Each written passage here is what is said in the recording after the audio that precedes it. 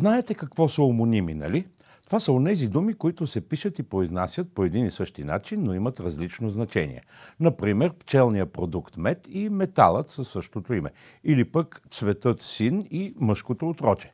Подобен е и случая с клена. Един рибар чуе ли клен, веднага се сеща за сладководна риба, докато човек запознат с ботаниката ще си помисли за дърво. Интересното е, че рибата и дървото имат синоними – речен кефал и явор. И за да не стане обаче прекалено езиковецко, се връщаме на темата храна, която днес е посветена на кленовия сироп. Ако сте били в Канада или Съединените щати, няма как да не сте забелязали, че кленовият сироп е навсякъде. На масите в традиционните закосвални, по стелажите в супермаркетите, както и като добавка към сладкиши, сладоледи и бомбони и всякакви десерти. И нищо чудно, след като около 80% от световното производство идват от Канада, другата голяма част от щатите, а останалото се разпределя между Русия и още няколко държави. Легендата твърди, че един ловец от племето ирокези, обитаващи преди европейското нашествие земите около големите езера в Северна Америка, се прибрал веднъж от лов и усетил сладък аромат да се носи из вигвама. Жена му тък му била сложила супичка да се вари. Попитила той за миризмата и тя му рекла, че в гарнето наляла дъждовна вода, взета от глинен съд, който била сложила преди това в подножието на едно дърво. Супичката се осладила на нашия герой и той отишъл да разгледа, що за дърво е това. Видял, че по кората се стича някаква течност. Близнал и разбрал, че именно тази течност носила сладостта в себе си. Оттам насетне всяка пролет и рокезите забивали томахавките си в дърветата, събирали изтичащия сок и го сгъстявали, слагайки в съдовете на горещени камъни. Дали в тази легенда се крие зранце истина, за това историята мълчи. Факт е обаче, че тъкмо северноамериканските племена са откриватели на кленовия сироп. Събирането на сока започвало някъде в края на февруари, когато слънцето вече се задържа по-дълго време над хоризонта и затопля въздуха, но през нощта е още мразовито.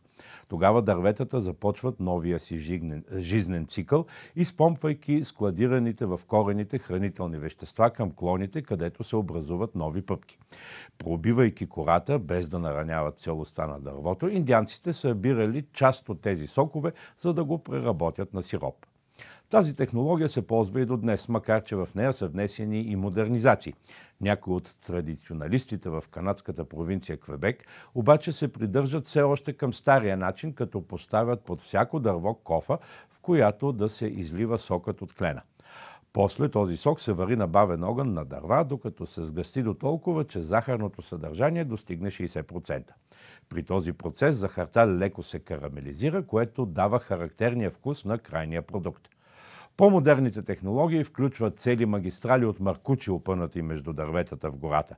По тях сокът се стича в една централна цистерна, след което пак се вари, за да получи нужната гъстота. При всички случаи кленовия сироп си остава един чисто натурален продукт, считан за един от най-здравословните. Дървото, от което се добива класическият американски кленов сироп, е захарният клен. Той достига височина от 25 метра, има силно набраздена кора и гъста елипсовидна корона.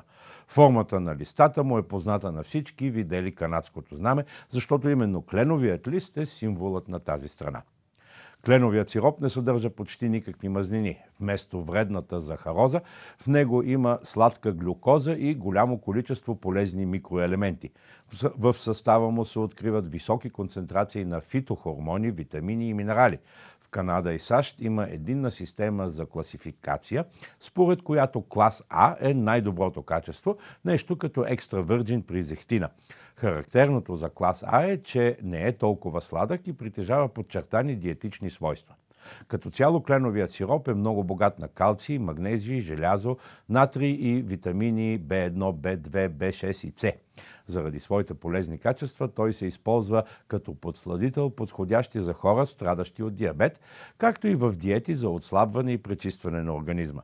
Счита се за много ефикасен за профилактика на рака и затластяването.